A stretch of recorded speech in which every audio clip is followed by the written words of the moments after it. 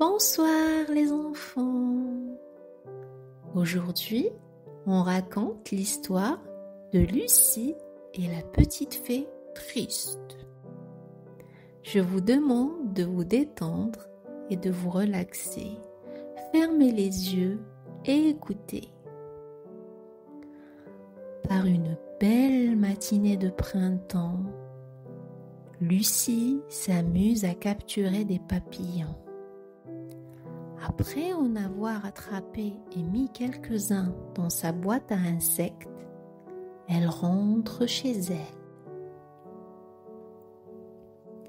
Dans sa chambre, Lucie ouvre le bocal à papillons et, surprise, parmi les insectes jaillit une charmante petite fée mais l'étonnante créature semble triste et fatiguée. Que se passe-t-il? Julie court dans le jardin et dépose délicatement la fée sur une fleur. Je suis la fée sourire. J'habite dans la forêt et j'ai besoin d'être entourée de gens heureux pour vivre. Malheureusement, je n'en vois plus, explique la petite fée à la jeune fille. Auparavant, les gens venaient jouer et chanter dans ma forêt.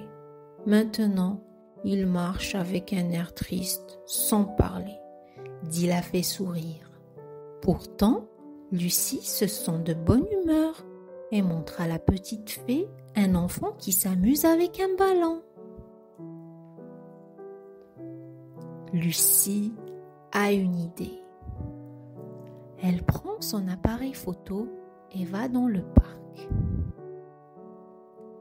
Elle croise une petite fille qui se promène avec sa maman.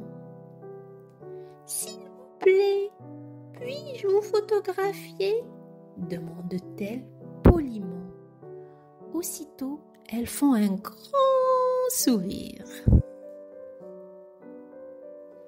Puis Lucie retourne auprès de la petite fée. Celle-ci l'attendait avec impatience. Quelle est ton idée? Qu'as-tu à me montrer dit la fée sourire. Voici une photo de gens souriants. Conserve-la avec toi.